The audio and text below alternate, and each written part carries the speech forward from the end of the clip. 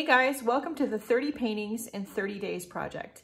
So every day of this month, at least 30 days of this month, we are gonna create a little painting a day and we're gonna see what happens. I'm gonna experiment mostly uh, with watercolor and gouache.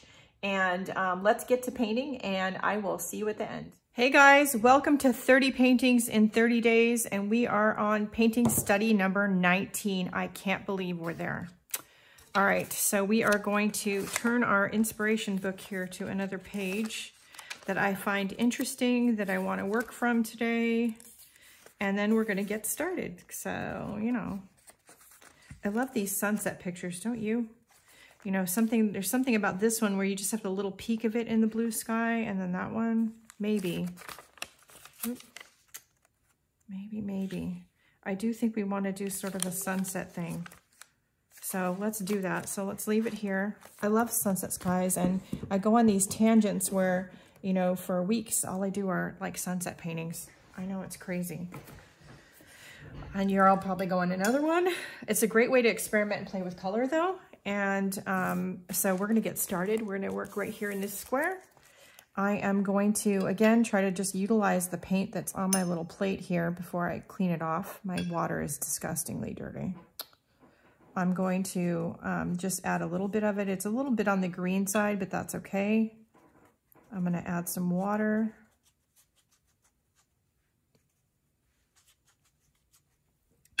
And I'm going to spread that pigment out in a sort of haphazard manner. And then I'm going to give it a dry. Okay, I did wipe my palette off because that was nasty. And while that color works right here, it's, yeah, not good. So, okay, so we're gonna go in and I'm gonna take some of the Van Gogh Cerulean Blue, which is very well pigmented, and I'm just gonna grab the teeniest tiny bit of it, and I'm gonna mix it with some Cobalt Blue. And it'll sort of green up the Cobalt Blue and give me a nice happy medium. And I'm going to put some of that on here, and I'm sort of using the parts where that bluish green that was on the palette was darker than others to um, use that as where um, the parts I want to make darker. And the parts that are white or the lighter green color I want to I want to preserve them if I can and leave them lighter. And sort of just follow with what naturally happened with the water as far as suggestions about where to put the shadow okay and then I'm going to grab some, uh, the Jane Davenport Royal, which is a blue purple. And again, I'm just going to add a little bit because that's a really purple purple. And you can always add more, but you can't take it back. Okay, that's good. And I'm going to add a little bit of that to the paint here a few spots. Purple is a great sort of shadow color.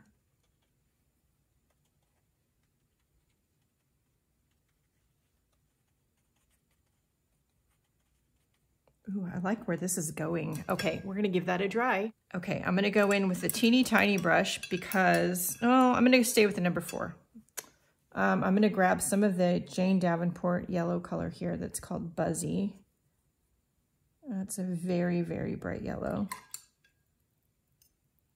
I'm gonna add a bunch of water to it and I'm so I can get a sort of a pale yellow wash. I'm gonna put this over some of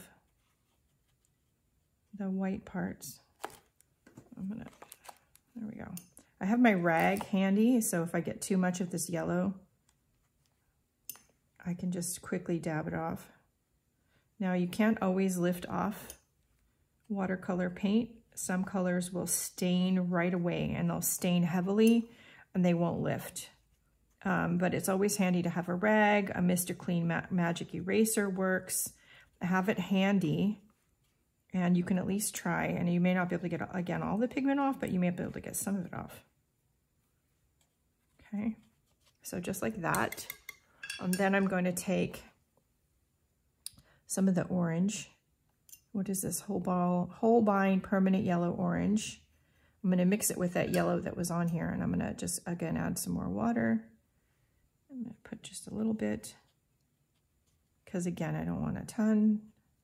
You can always add more pigment, but you can't really take it back. I said that already in another video.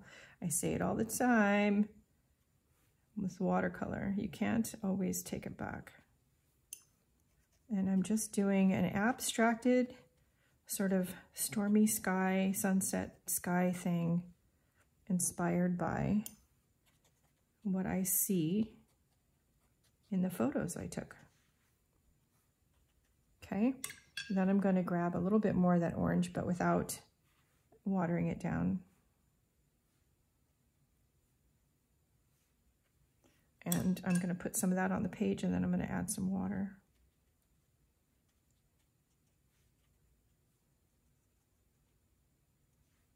Okay. Then I'm going to grab some pink. And this is Jane Davenport's um, pink color called Best Friend. It's a really pretty pink color.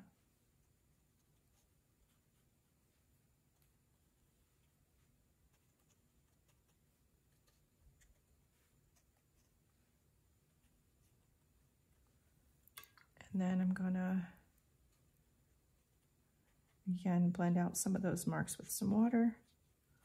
Got to kind of work quickly with these Jane Davenport paints because they dry fast, which is one of the reasons I didn't dry the paper. I want it to sort of blend a little bit. And there we go. I like the way that looks. Now let's give it a try. Okay, let's lift the tape, shall we?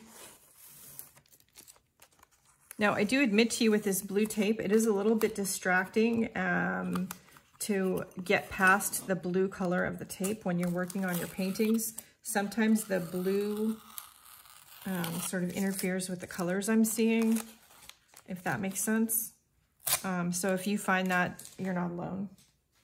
Look at that. That is cute. I like that one. So there we go. Painting number 19. Speed fruit through version, sorry. Um, if you'd like to support the free content here on Facebook or in the, uh, here on Facebook, holy cow. If you'd like to support the free content here on YouTube or over in the Facebook art groups, I certainly would appreciate that. You can, of course, join Patreon. We do have YouTube membership here for a, a small fee. And um, also I have an Etsy shop and I have um, PayPal tip jar and all that stuff. So check out the video description. Relevant links will also be down there. And uh, yeah, don't forget the most important things. Stay healthy, stay safe, stay creative, and go out and do something nice for yourself because you deserve it. Do share your work with me. I would love to see what you're doing. That's it for now. See you later. Bye, guys.